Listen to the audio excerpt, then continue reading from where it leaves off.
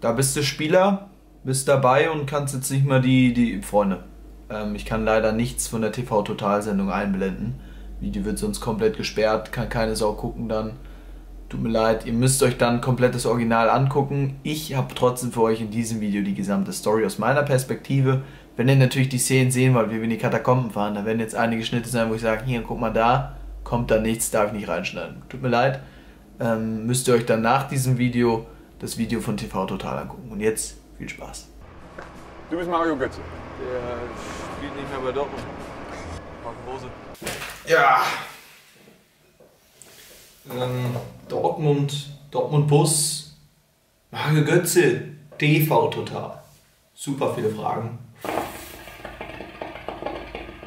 Freunde, das gewünschte Video zu dem Thema Fake Dortmund Bus ähm, bei TV Total. Ähm, ihr wolltet die ganze Story nochmal wissen. Ich habe sie nochmal parat. Gestern lief es im Fernsehen, gestern waren wir auch bei der Show im Publikum. Vielleicht habe ich der eine oder andere gespottet. Zusammen mit der ganzen Mannschaft. Nochmal liebe Grüße an die Jungs, an alle. Ähm, ja, viele wollten einfach nochmal genau wissen, wie das alles ablief, was wir gemacht haben, was überhaupt passiert ist, äh, ob wir eine Anzeige am Hals haben, äh, ob wir was auch immer, weil Grüße gehen raus an den lieben Puffbuff. Ich weiß, du wirst das Ganze sicherlich nicht sehen. Ähm, der hat zum Beispiel Stadionverbot. Ne? So viel kann ich schon mal spoilern. Der hat Stadionverbot sein Leben lang. Ähm, ist, es, kann, ne? es, es hätte jeden treffen können. Puffbuff hat es getroffen. Natürlich bastel ich mich jetzt hiermit. Ich war einer der Spieler, die im Bus saßen, aber das ist auch Jacke. Also ich werde da jetzt keine Konsequenzen von ziehen, ne? Hoffe ich mal. Ähm, ich fange einfach mal ganz vorne an. Ich werde zwischendurch immer Ausschnitte aus der Sendung einblenden oder auch Bilder, die ich selber gemacht habe. Ganz am Anfang, wie kam es dazu? Ähm, ein sehr lieber Spieler aus unserer Mannschaft. Wir haben bei Wahlstein eine erste, zweite, dritte Mannschaft.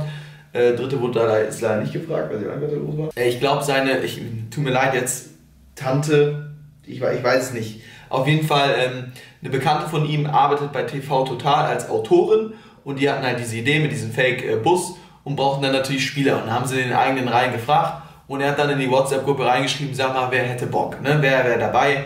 Ich habe, glaube ich, ja, ich habe als erster die Liste erstellt, dass ich Bock hätte, heißt Kiel Daumen nach oben, haben sich schnell Spieler gefunden und da war klar, hier nächste Woche Samstag, 13 Uhr, Treffen bei äh, TV Total hier in Köln. Die haben ja da diese Studios und sowas.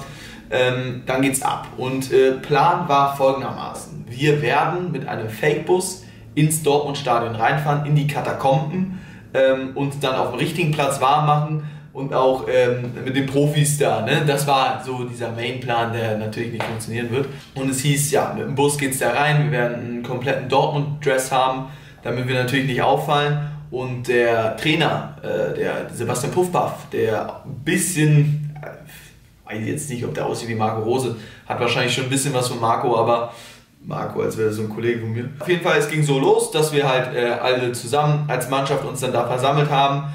Ähm, erstmal Grüße gehen raus an die Mitarbeiter von TV Total, der eine oder andere ein bisschen neben der Spur, Grüße gehen raus. Ähm, aber super, super Typ. Und dann sind wir da in unseren Exclusive Room gekommen, Freunde. Wir in den Raum rein, äh, hinten dann die ganzen Anzüge von Dortmund. Real Story dazu. Normalerweise hätten wir richtige Dortmund-Anzüge bekommen. Das heißt, richtige Dortmund-Anzüge, also die aus dem Shop, richtige Dortmund-Anzüge, die sind an dem Tag nicht angekommen. Dann durfte ein glücklicher Kollege nochmal extra nach Köln flitzen, irgendwelche Puma-Anzüge holen. Dann haben die einfach auf die Puma-Anzüge so ein Dortmund-Logo draufgeklebt. Ähm, ja, sah jetzt nicht ultra krass aus. Ich kann nochmal eben ein Bild einblenden, wie es an mir aussah. Ähm, bei einem oder anderen ist es da auch direkt abgeflattert und hast du nicht gesehen aber war halt eine kleine Notlösung, was auf jeden Fall dann noch gut funktioniert hat. Ich muss sagen, wir sind da reingekommen in diesen Schuppen, da war so, das war so eine Stimmung, wie als würdest du morgens in die Schule zur ersten Stunde reinkommen irgendwie. Dann kam mal der Sebastian, der hat da ein bisschen Dampf reingebracht, das war ganz cool. Und dann, ja, wir uns umgezogen, zack, raus äh, zum Bus. Dann wurde auch gesagt, ey, hier wird direkt die erste Szene gedreht. Fun Fact zum Bus, war ein ganz normaler Bus, ne? also ein normaler Reisebus ohne schwarze Fenster oder so jetzt. Ähm, und der Busfahrer, zu dem komme ich ganz am Ende nochmal, ähm, harter Tag für den Mann. Also wirklich ganz harter Tag. Ähm, er wusste von nichts. Ja. Auf der Fahrt nach Dortmund wurde ihm gesagt, dass wir in die Katakomben von Dortmund wollen. Ähm, weiß ich jetzt auch nicht, was ich da mir als Busfahrer gedacht hätte. Fakt ist, dann ging es direkt mit den ersten Szenen los, wie der Bus angerollt kommt und wir dann als Spieler uns so vor dem Bus hinstellen. Seht einfach mal selbst. Das war auch mein direkt großer Einsatz, Freunde. Mario Götze wurde ich direkt benannt und zum Schluss, das ist mir gar nicht aufgefallen, wurde nochmal gesagt, dass er nochmal ein spezielles Auge auf mich wirft. Äh, grüße ihn raus. Ähm, aber war super witzig. Einer der kleinsten aus unserem Team, grüße ihn raus, äh, wurde als Erling Haaland betitelt, ne? natürlich auch witzig so. Und äh, da wurde vorher gesagt, ey Jungs, ich werde zu irgendeinem kommen und werde sagen, du bist Götze. Ne? Ist ja klar, Götze spielt nicht mehr bei Dortmund. Hat es mich getroffen, ich muss sagen, als er dann so auf mich zukam und auf mich gezeigt hat, war ich erstmal so ein bisschen, wow, okay, Digga, ich musste mich so erstmal anschalten, irgendwie, weil ich war noch ein bisschen AFK, ich stand da in der Reihe und dachte halt, okay, das muss jetzt, ich muss jetzt hier nur stehen. Und dann äh, musste ich auf einmal anfangen zu reden und sowas. Und dann hat er auch gefragt, wer bin ich? Und ich war kurz davor zu sagen, Sebastian Puffpaff. Dann wusste ich den Namen vom Dortmund-Trainer erstmal nicht. Das war alles, und dann wusste ich den Namen. Dann habe ich das rausgehauen. Das war sehr, sehr gut. Das, also ich muss sagen, war ganz clean, bin ich ehrlich. Dann ging es ja los, ne, auf dem Weg nach Dortmund. Äh, und uns wurde vorher auch schon gesagt, dass wir gewisse Schlachtrufe machen werden. Ne? Das heißt, äh, ne, und hast du nicht gesehen, die blende ich auch mal eben ganz kurz ein, die sind nämlich sehr, sehr geil geworden. Wirklich Schlachtrufe, einer meiner Lieblingsszenen gewesen, war echt super witzig. Ähm, die haben wir auch mehrmals gedreht aus verschiedenen Perspektiven. Ich muss aber dazu sagen, es gab noch mehrere Schlachtrufe, die leider, Gott sei Dank, nicht reingeschnitten wurden. Ich sag mal so, Uli Hoeneß wurde jetzt nicht nur als vorbestraft betitelt, sondern da hatten wir auch noch eine andere Option, die ich euch jetzt erspare. Äh, und wir hatten noch ein paar Polenwitze über Lewandowski und dass er den Ballon d'Or nicht gewinnt. Aber die haben es halt leider nicht in die Sendung geschafft. Ja, Schlachtrufe sehr, sehr cool. Dann sind wir eigentlich in Dortmund angekommen, haben uns dann wirklich, also das verstehe ich auch bis heute nicht, wirklich auf den kleinsten Parkplatz der Welt. Also wirklich riesen Respekt an diesen Busfahrer, wie der das Ding da um die Reihen gedreht hat. Völlig verrückt, der Mann. Ähm, wir sind da, also unmenschlich. Weil wirklich können alle, die dabei gewesen waren, es war unmenschlich da und also der ist da, ich, er hätte sieben Schilder mitnehmen müssen, hat vier Bäume. Ähm, auf diesem Parkplatz wurde der Bus dann beklebt. Und Freunde, mit beklebt meine ich jetzt nicht, dass der ganze Bus komplett originalgetreu wie der richtige Dortmund-Bus äh, aussah, sondern es war wirklich ein großer Dortmund-Sticker, ein echte Liebesticker und vorne an den Spiegeln so Dortmund-Sticker, die glaube ich auch in Real Life gar nicht drauf sind. Es sah nicht originalgetreu aus, aber es sah schon gut aus, das muss man sagen. Ich habe auch glaube ich ein Bild. Ähm, wenn nicht, ein bisschen cringe, aber ich glaube schon. Und äh, ja, dann stieg auch die Nervosität, weil du wusstest ja, okay, wir sind jetzt als Mannschaftsbus unterwegs und dann sind wir halt straight sofort, zack, auf dem Weg nach Dortmund gewesen. Also zum Stadion, zum Signal. Langsam aber sicher aufs Stadion zugefahren und jetzt wird's krass. Ich dachte, da ist direkt Sense, klar, uns haben immer mal ein paar Leute zugewunken, aber teilweise haben sich auch Leute gedacht, Digga, was ist denn das hier gerade für eine Aktion, was fährt denn hier jetzt für ein Bus lang? Ähm, und dann waren wir im Stau also Retalk gestanden im Stau vor dem Stadion. Ich glaube jetzt mal nicht, dass der originale Mannschaftsbus im Stau steht. Ähm, Sebastian Puffpaff da vorne hier die ganze Zeit am Winken. Und dann sind wir irgendwie links lang gefahren. Äh, könnte ich jetzt eigentlich auch nochmal einblenden. Sind irgendwie links lang gefahren. Äh, so ein Security hat sogar noch eine Pylone auf die Straße gestellt, weil er gesagt hat, nee, kommt hier nicht durch. Sebastian hat dann irgendwie so gemacht, hier zack, zack.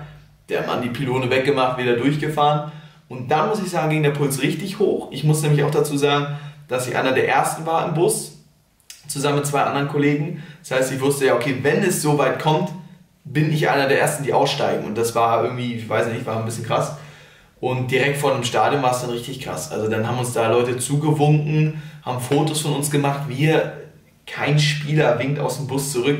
Wir die ganze Zeit zurückgewunken wie so Dullis. Äh, und dann wusste einer aus unserem Team genau, wo diese Katakomben sind und hat gesagt, ey Leute, hier rechts.